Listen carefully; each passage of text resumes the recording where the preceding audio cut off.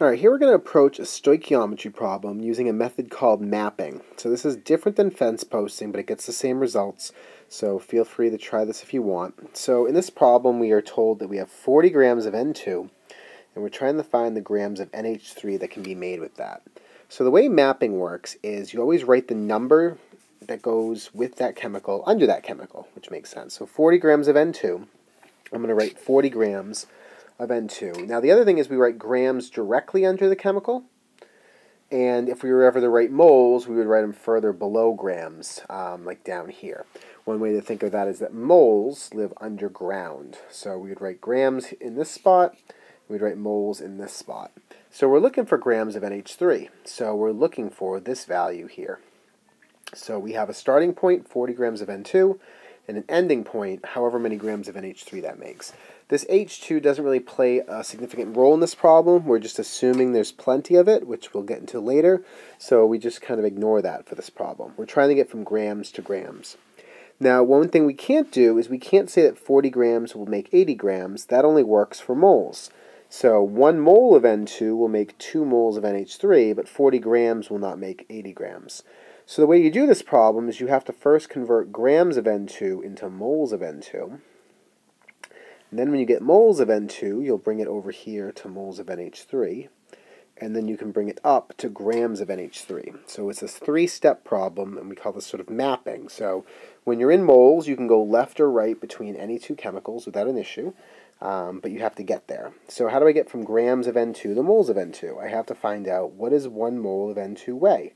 So I'll consult my periodic table. One mole of N2 is 28.028 grams of N2. If I look on the periodic table, there are two of them. So I'm going to multiply this by 1 mole over 28.02 grams. So in other words, 1 mole is 28 grams. If I have 40, then we always want to make sure this makes sense. I have 1 point, and I'm going to try not to round too much here. I'll round at the end, 1.428 moles.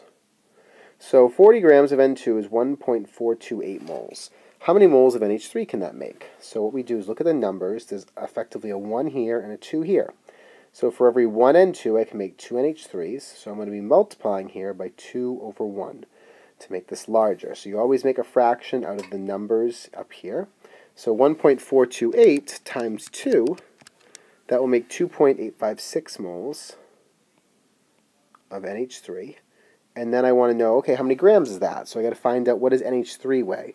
Now be careful, you don't look at 2NH3, you already used the 2 to get over here, just look at NH3. So you ignore sub you ignore numbers out front, but you count subscripts. So NH3, 1 mole of NH3, if we add up the weight from the periodic table, is 17.04 grams. So for every mole, there's 17.04 grams. So we're going to convert, so every 1 mole is 17.04 grams. Again, see if this makes sense. If 1 mole is 17 grams. What is 2.8 moles? So it should be a bigger number. So 2.856 times 17.04, I get 48.67. So 40 grams of N2 can make 48.67 grams of NH3, assuming there's plenty of hydrogen available. And the reason this works is because hydrogen is much lighter, so it doesn't add a lot to the substance that we're making here when we go and do this. But bottom line, map this out. When you go from grams to moles, you're using molar masses. So either 28, because it was the mass of N2, or 17, which is the mass of NH3. When you go left to right, you use the coefficients to do that. So let's do another problem. So again, the first thing you want to do is map it. So it says how many grams of P2O5 can be made. So we say, where is that? That's P2O5. I want this for my final answer. That's where I'm going. With 3.54 moles of O2. So O2 is going to be under O2, but 3.54 doesn't go directly here. This is where grams goes. It goes down here. So I'm going to write 3.54 moles here. So I got to get from here up to here. So again, what I do is I first go to moles of this chemical. So you always want to go from moles to moles, and I probably shouldn't have drawn that arrow so large.